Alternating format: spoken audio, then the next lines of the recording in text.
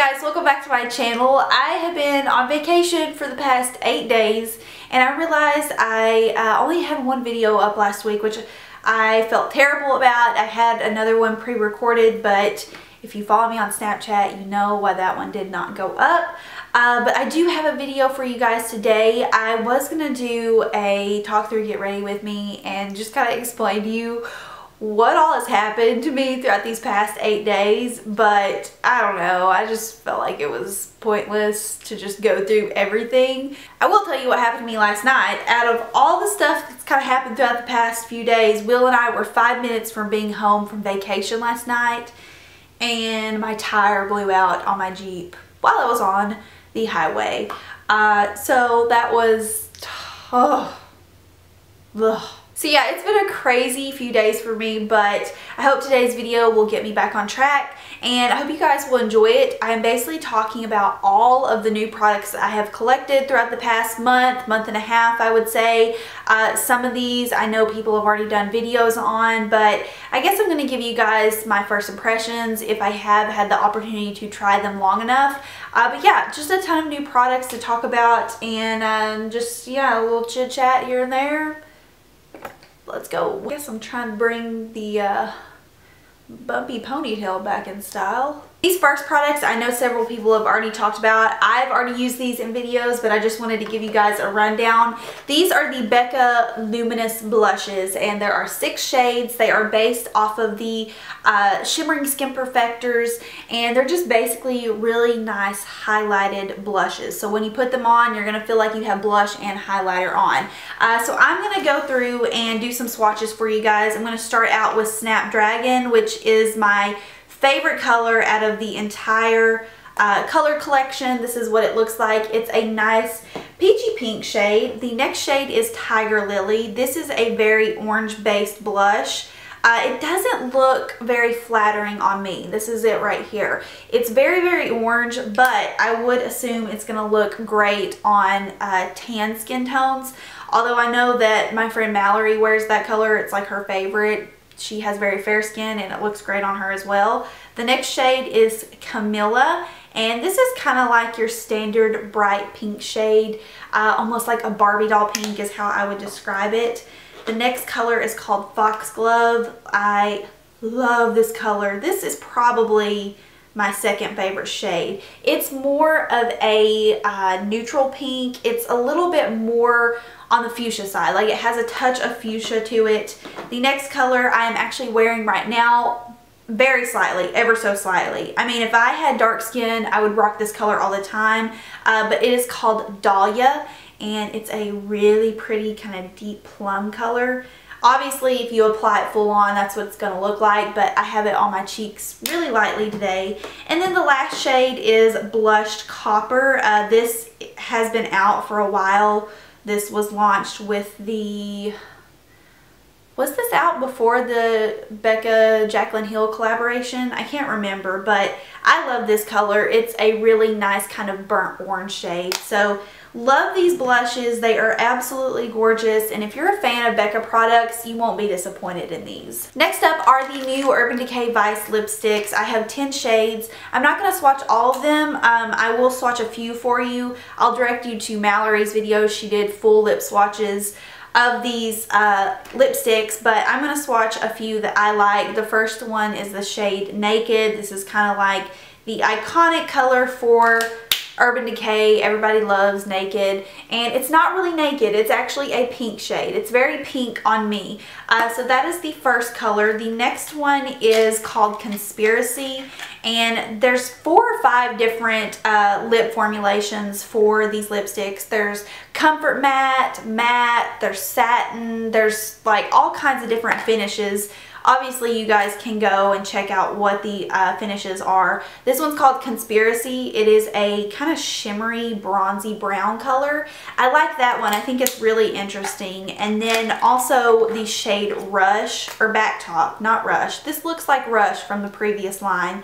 The shade Back Talk is to be a very popular one I think it's that kind of purpley mauve color that everybody's going for right now uh, and then I want to swatch this one because I actually I've not even looked at it yet. I think Laura swatched this on her uh, Snapchat and she was kind of laughing at it. This one is the shade Big Bang and it is a metallicized finish or a metallized, however you want to say it. So this is kind of like a fuchsia pink with a lot of sparkle in it. So those are just a few shades from the collection that I have. I just want to throw this out there. I took two of the lipsticks with me on vacation.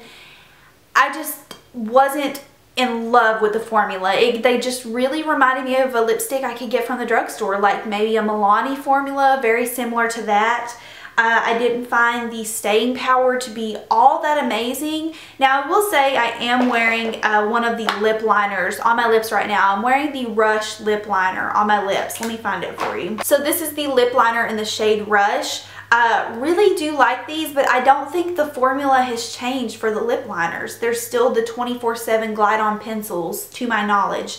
Um, so yeah, I don't understand what the huge change was in the lipsticks other than the fact that there's a hundred colors and they do have a few different finishes from before. Um, so yeah, not like, oh my god, in love with this formula. They're pretty lipsticks, but you know, they're lipsticks. Next up are a few products from the Estee Edit. This is Kendall Jenner's uh, line with Estee Lauder, I believe, and they sent me a few of their products to try out. The first one I am wearing today is called the Barest Bronzer in number 2 Medium Deep. So this is a pretty dark bronzer, but also it's a very peachy tone bronzer. I have it on right now and you can see it, it's not cool at all, but it's not warm. It doesn't give off that orangey tone. It's very peachy in my opinion. Uh, also, if you're buying this for the splash of uh, kind of glitter or luminosity in it, just know that that is going to fade. Um, I have been using it and you can see right along through here, it's coming off. So don't expect this to be like a bronzer and highlighter in one. However, I really like the formula of this bronzer. It's velvety smooth. It's got a ton of color payoff. My only thing is that you have to be very, very careful and very light-handed with the application. But uh, I have it on today, like I said, and I just think the color is really unique, this specific shade. It's buttery smooth. Um, you can get really heavy-handed with it if you're not careful though. Next is the Flash Illuminator, and this one is in the shade number 5, Night Light. Now, I think this Obviously, this is not going to be a highlighter on my skin, but I did use it today as just an overall uh, face bronzer kind of to warm up my skin before I went in with that powder bronzer. It's a really pretty golden, almost moussey texture.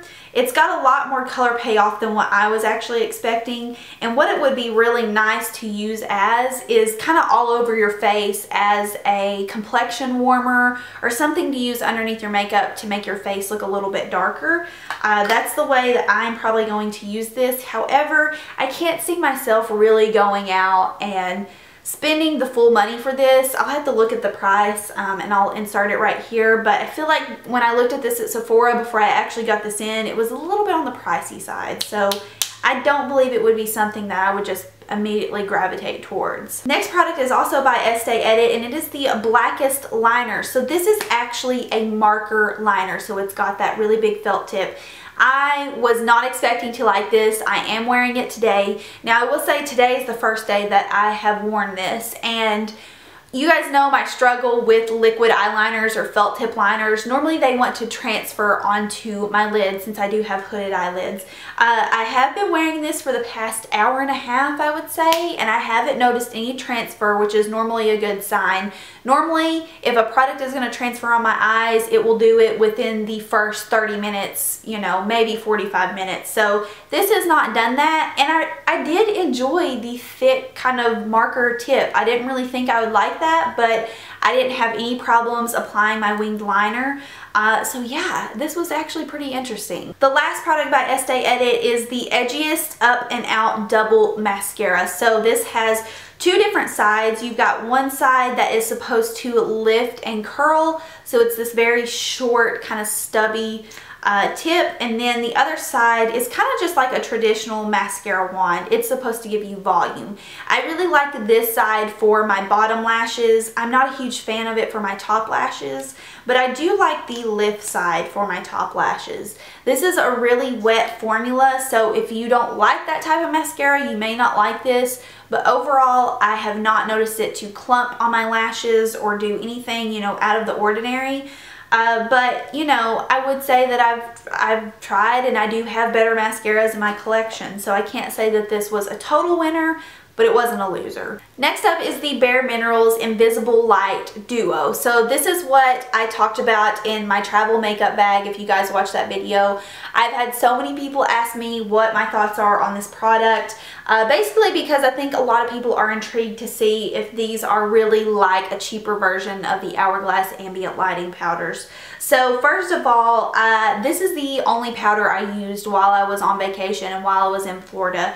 And my basically what it comes down to is I like this for quick everyday light dusting of powder. I wouldn't gravitate towards this for my everyday, or not everyday, for a very full coverage look. Uh, just because I don't really think that, first of all, the glow side, the glow side is very, very subtle. You're not going to get, you know, an intense glow at all. It's very subtle. Uh, and then the matte side is going to be for those of you who just really don't like that powdery look. If you like a super natural skin-like look, kind of like what I have on today, uh, you will like this duo. However, if you're someone who needs a lot of powder to control oil, or if you're just someone who likes a powder that gives you a little bit more coverage, this really isn't going to do that for you. But overall, I do like this for just everyday quick setting. It works well for on my dry skin. Uh, I would say that my only disappointment was the glow side. I just, I don't really find, let me show you. Let me just put some on right now and see if you guys can pick up on anything. I mean, do you see anything different from this side? I mean, I don't have it on this side. I have it on this side. So maybe there's a little bit more of a glow than what there was before.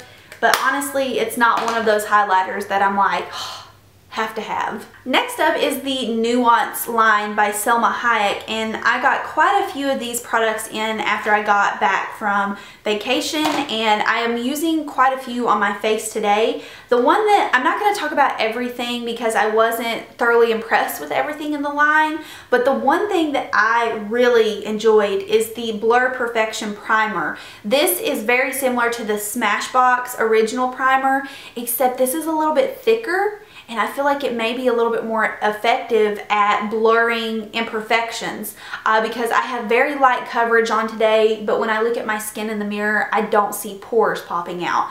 Uh, so I am a really big fan of this primer. I'm going to keep this on my desk and use it more but overall this is what I was really impressed with from the Nuance line. A few other products I tried from the line were the, uh, let's see, this is the Naturally Luminous Concealer the Contour and Illuminate Duo, and the uh, Endless Eye Effect Shadow Collection in the shade Smoke Signal. So this is an eyeshadow palette. So I'm going to start out with the concealer. Uh, the concealer is a click pen and I could not get any product out you guys. I mean nothing is coming out of this. I've sat here and I've clicked and I've clicked and I've clicked. Uh, when I first opened it I was getting a little bit of product out but it's it's like there's almost nothing in there or maybe the formula is too thick to actually be in a pen form. So I would not suggest this if you are looking into that. Uh, today I am wearing a little bit of the uh, Contour and Highlight Duo. I didn't really put the highlight on my cheeks. I just swatched it on the back of my hand and it's a very like opalescent highlighter. Kind of just like a standard cream highlighter. I wouldn't say that you know, when I look at it, I'm like, oh, oh my gosh, you know, blows my mind. Uh, but I was a fan of the cream contour. It actually blended out really nicely on my skin. I thought it was going to be really dark based on this color right here, but I mean, it was a nice cool tone shade and it blended out uh, very well. So that's what I have to say about that. As far as the eyeshadows go, these were a total dud for me. They are just not very pigmented at all and the fallout The fallout is what I had a big issue with. I had a problem with this specific shade right here. It doesn't have a name, but the fallout on it is just really bad. Even when you apply it to your skin, you can still see the shadow flakes on there. So um, I guess I wouldn't say necessarily that I was too disappointed in the pigmentation because they do have an okay pigmentation. I guess it's just the overall formula uh, just didn't blow my mind. I mean, there's a lot more shadows out there. I know at the drugstore that can perform a little bit better than these. Um, so these are all the swatches on the back of my hand and you can see with just one straight shot, there's still some patchiness going through this gunmetal shade. The black is decent. I will say that. The black does have decent pigmentation. This color right here is the one that I had a lot of trouble with though. So the last few products are actually skincare products that were suggested by you guys, or I guess the brand uh, was suggested by you guys, and it's Paula's Choice. So I did a recent video where I was just talking about, you know, my skincare, and someone commented and they were like, you should really look into Paula's Choice. It's a very affordable brand that's all natural, and they were just like raving about it. So literally about four or five days later, Paula's Choice contacted me and asked me if I wanted to try some of their skincare. So I said yes because that person was just raving about it. And then I did a video, uh, I think it was my travel makeup bag where I was telling you guys how I was looking forward to trying the skincare line. And I had comment after comment after comment being like, you need to try this from the line. I love Paula's Choice. So many people were a fan of this skincare line. So uh, I have used uh, three products from the line that I've that I have. I have more products to try out, but I have tried three. And right now I have a slight flare-up of KP on my face, which is keratosis pilaris. And it kind of stems from me having atopic dermatitis. Basically, anytime I'm around dogs and they lick my face, uh, sometimes I will get these little bumps that come up on my face or my arms. Those of you who have KP, you know what I'm talking about. And once the bumps kind of die down, my face is left with just this dry layer where the bumps were. So I've been trying to use these three products to help with that and they really have. I was very shocked because um, just looking at the ingredients, I was thinking that these may irritate my skin. So the first thing I was using, or I've been using, is the Paula's Choice Resist Daily Smoothing Treatment with 5% AHA and glycolic acid. So this is for normal to dry skin, and it's basically an exfoliant that you put on your skin and you leave there. So this is why I've been using this, is I just want to exfoliate all the dead skin. Um, this does sting my face a little bit where the dryness is, I will say that. However, it only lasts for a couple seconds and I really think that this helped to kind of eliminate the dryness on my face. So I have been using this and that's like my initial impression of that right now. The next product I've been using is the Paula's Choice Resist Intensive Repair cream. So this is for really dry skin and it's basically just like an every, for me it would be like an everyday moisturizer. For some people with normal skin this might just be a nighttime moisturizer but it's a pretty thick formula and when you put it on, it feels just like an everyday moisturizer for me. Uh, but I do notice that the tightness goes away on my skin when I put this on. So that tightness that I'm feeling from the flare up, uh, that goes away when I put this on. So I've been slightly impressed with that. And my favorite product I've tried from the line so far is the Resist Anti-Aging Eye Cream with shea butter and peptides. This has a really unique texture to it, almost like a balm texture. It's a very thick eye cream, but you can still wear it underneath your makeup. It doesn't make my concealer break up or anything like that, but it's a super thick formula.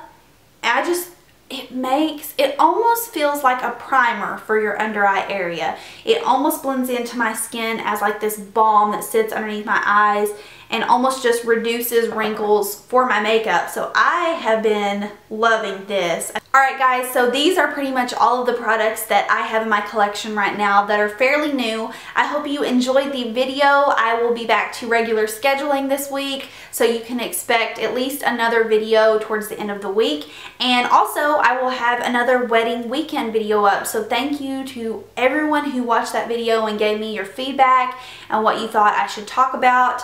Uh, so yeah, it's time for me to film another wedding weekend video and that will be up this upcoming Saturday. My battery is dying, but there will be a new wedding weekend video up this Saturday and I just want to thank you guys for being patient with me while I was on vacation.